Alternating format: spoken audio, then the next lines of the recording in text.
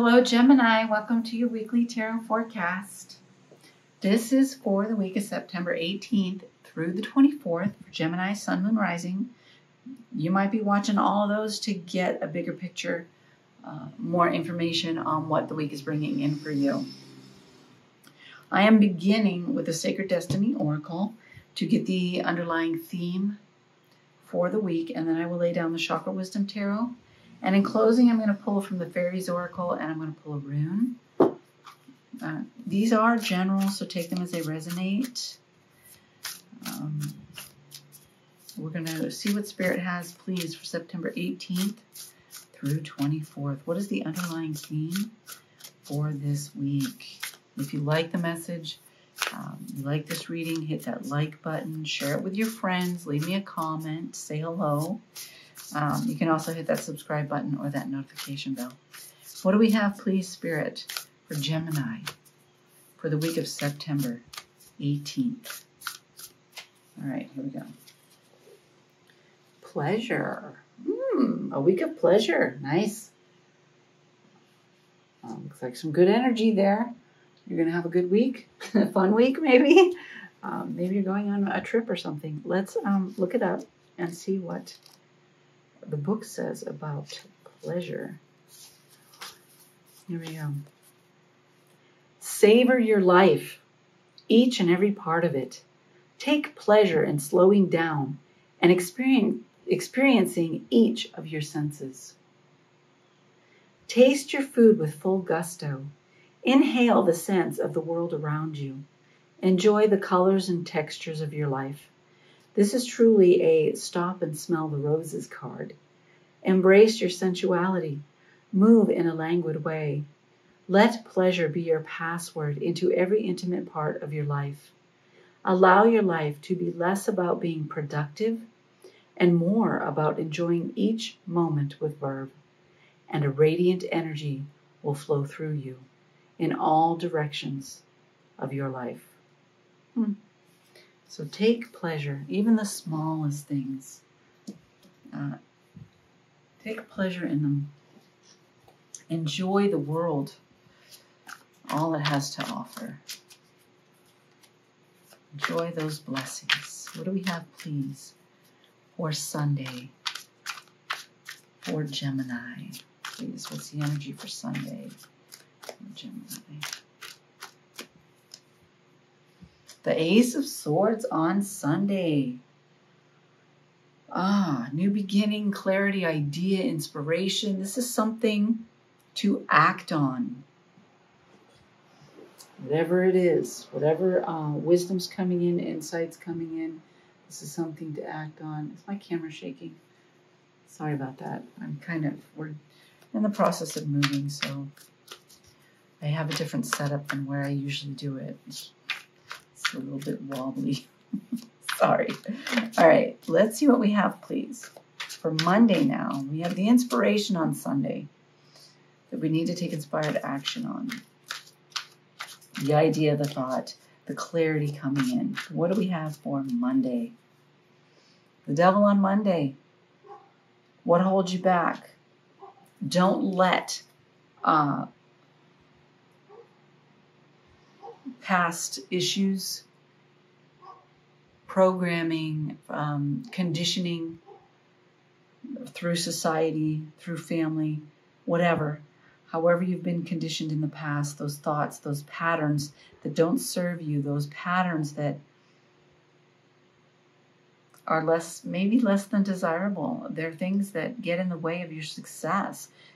Um, don't allow that. Release those. Move forward. Move past those. Release those and transform that energy. Take courage. Have the courage to move forward um, out of those things that hold you back. What do we have on Tuesday, please? Okay.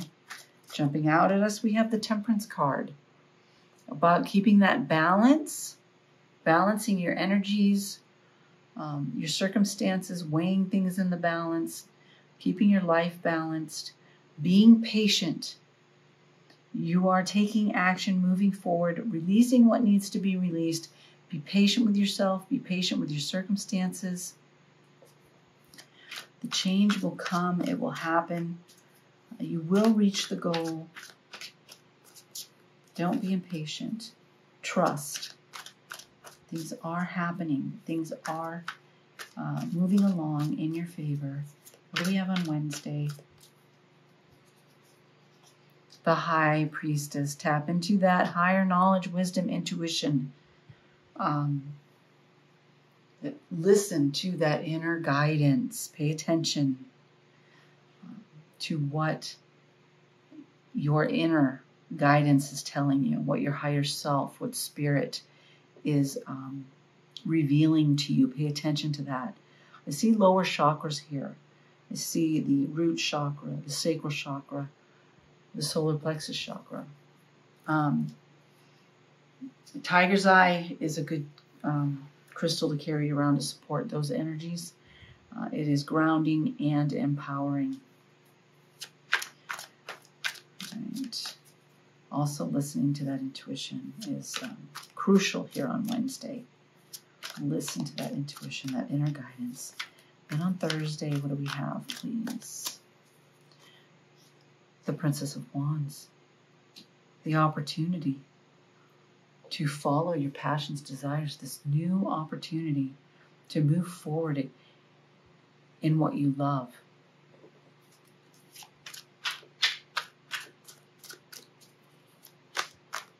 Watch for that opportunity.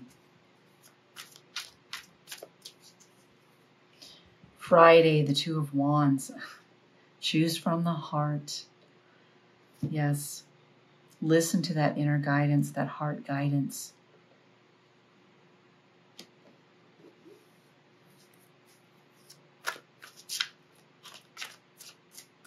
Make your decisions based on that inner guidance. That heartfelt that heart tug, the tug on your heart, it will lead you in the right direction. Saturday, strength. You have the inner resiliency, the inner strength uh, to manifest the dream, the goal, whatever this is, whatever you're putting into action, whatever opportunity is coming in. Again, there's a lot of lower chakra. I really recommend the uh, tiger's eye crystal. Um, this too is self empowerment, um, courage, strength on Saturday. Let's let's pull a let's pull a closing card and see what we have in closing for you, please. What do we have in closing for Gemini, please, Spirit? What do we have in closing?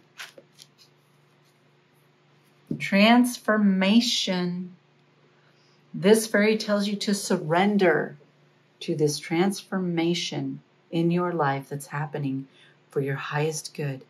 Embrace the transformation. The best is yet to come.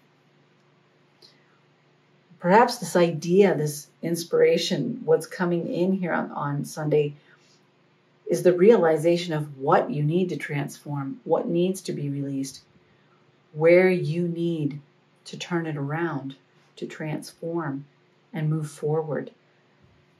All very good for this week. It's forward movement in the right direction, stepping into um, that transformative energy, stepping into that strength, that desire, your heart's desire, um, your intuition leading you, guiding you into that success, moving forward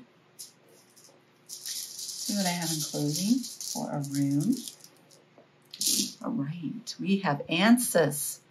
Okay, as you go through your week, um, look for the signs, the signals, the synchronicities from spirit, that higher wisdom, that in, listen to that intuition, that guidance that's coming in for you. Be open to that communication from spirit. Watch for it. Pay attention to it. This is what I have for you, Gemini. Thank you so much for joining me in this reading. Have a blessed week.